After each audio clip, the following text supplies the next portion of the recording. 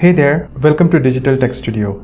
In this quick tutorial, I'm going to show you how to check the hardware connections or hardware information in your Mac. In order to check the hardware, click on this Apple logo here and select the first option which says uh, about this Mac, which will open this uh, info page uh, which will display some of the information like chipset, memory and everything now you can just choose this option so more info which will open up the settings panel. And within the settings panel if you scroll down a bit you would be able to see the system report. Just select that which will open up this uh, entire system window where you have this option to view the hardware and information about each hardware that is connected. Say suppose i want to check the bluetooth i can just select the bluetooth and it will give me information about my bluetooth address and everything. Similarly you can also select other options which are currently connected.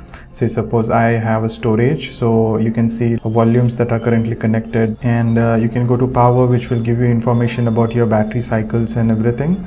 And you also have this camera and the Bluetooth uh, connection uh, information. So all this uh, information will be available here. You can read uh, through this information. I hope you find this video helpful. Please hit the like button and subscribe if you haven't already. Thank you for watching. Cheers. Have a great day